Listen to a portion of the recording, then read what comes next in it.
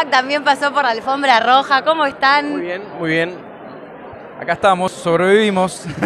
Un bardo total, se llenó. lindo bardo, lindo bardo. Es que los músicos llegamos siempre tarde, ¿viste? Entonces, todos.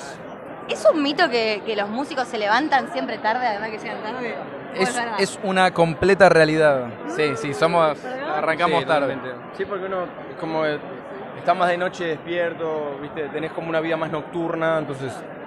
¿Es más creativo capaz el momento de la noche? Y es que es, no, es que es un momento que estás solo, ¿viste? No, no es que es una cuestión mística, pero uno está solo, hay silencio, no eh, hay poca gente a la, que, a la cual podés acudir, entonces estás solo.